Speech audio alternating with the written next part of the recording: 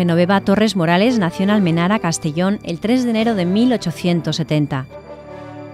Fue la menor de seis hermanos y a los 13 años, a causa de un tumor maligno en la pierna, se la amputaron sin anestesia para eliminar la gangrena.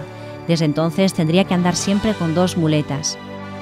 A los 15 años volvió a caer enferma.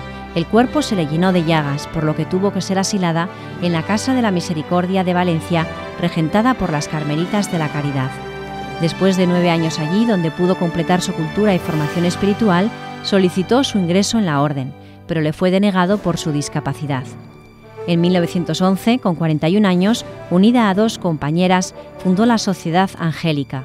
La misión sería ofrecer un nuevo hogar a mujeres solas, aportando la pensión que pudieran. El 2 de febrero de 1911 se inauguró la primera casa en Valencia con cuatro residentes y Genoveva fue nombrada directora de la casa. Las fundaciones se extenderían rápidamente por España. En 1912 fundó en Zaragoza y en ese mismo año empezaron a vestir con hábito característico.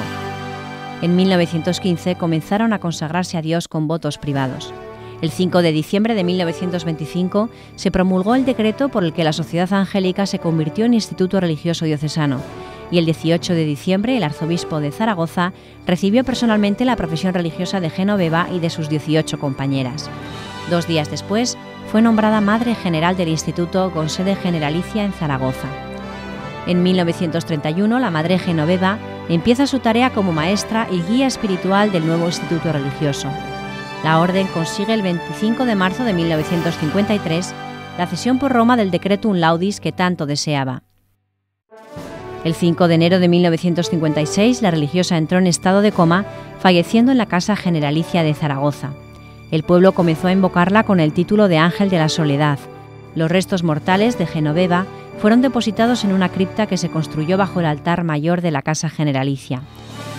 Fue beatificada por San Juan Pablo II el 29 de enero de 1995 y canonizada el 4 de mayo de 2003 en la Plaza de Colón de Madrid.